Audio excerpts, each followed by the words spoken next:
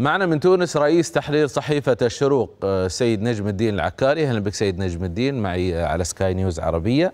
إذن سيد نجم الدين بقرار ربما لم يعني يؤسس له أو يكون بشكل تدريجي أنهيت مهام رئيسة الوزراء ويأتي سيد أحمد الحشاني رئيسا للوزراء جديد لتونس في ظرف دقيق أيضا لماذا أنهيت يعني مهام رئيسة الوزراء وما الذي سيكون عليه موضوع التغيير في رئيس الوزراء الجديد باعتقادك؟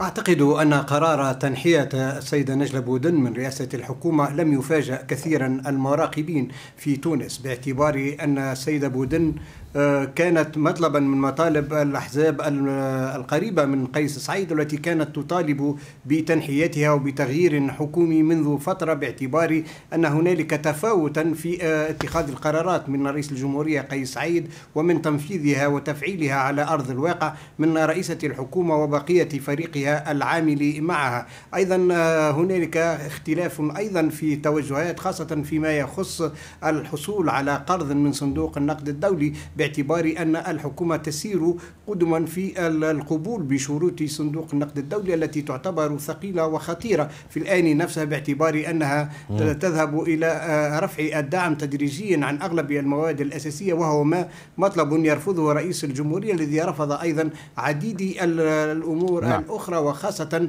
في فترة سابقة الاتفاق الممضى مع الاتحاد الأوروبي إذ رفضه في الفترة الأولى قبل طيب. أن يتم تعديلها رئيس الجمهورية يدعو إلى تغيير في هذه الشروط حتى يتم ذلك السيدة نجلة بودن أيضا منسوب إليها تعطيل بعض القرارات الحاسمة وعدم الحزم في اتخاذ قرارات أخرى تهم الوضع الاجتماعي والوضع الاقتصادي وخاصة في العلاقة بالاتحاد العام التونسي للشغل في الفترة الأخيرة وتفاقم عدة أزمات منها أزمة طيب. كما ذكرتم في تقريركم أزمة المي... انقطاع المياه الشرب والكهرباء وفقدان بعض المواد الأساسية في السوق.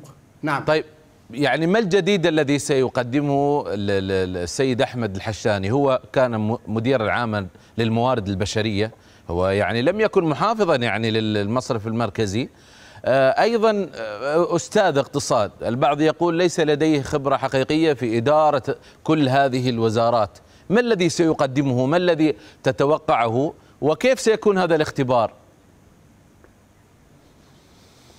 أعتقد أن السيد أحمد الحشاني شخصية غير معروفة في المشهد السياسي والإعلامي بصفة عامة في تونس. حتى إشرافه على الموارد البشرية في البنك المركزي لفترة مغادرته لها سنة 2018 للتقاعد وتدريسه للعلوم القانون العام في الجامعة التونسية لفترة قصيرة وليست طويلة لا تؤهله نظريا لإدارة الحكومة وللإشراف على ذلك. قد تكون يكون له خبرة في تسيير بعض المرافق لكن ليس هو رجل اقتصاد باعتبار أنه خريج كلية الحقوق وليس كلية الاقتصاد أو بعض كليات التصرف أو غيرها.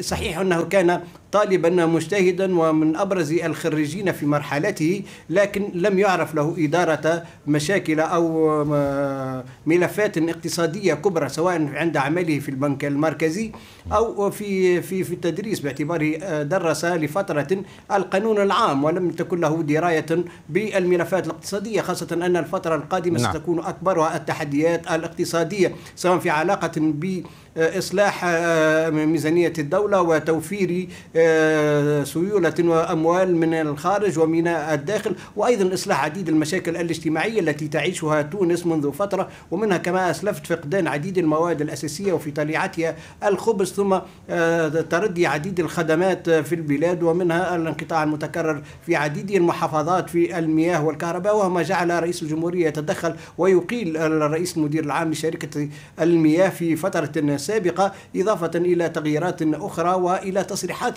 كثيرة عبر عنها رئيس الجمهورية خلال الفترة الماضية وفيها لوم كبير للمشرفين على الحكومة في عديد الاختصاصات. لا يبدو أن رئيس الحكومة الجديد قادرا على إخراج البلاد من أزمتها طيب. مبدئيا لكن قد يجد نعم.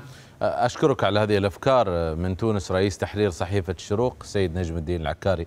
شكرا جزيلا لك.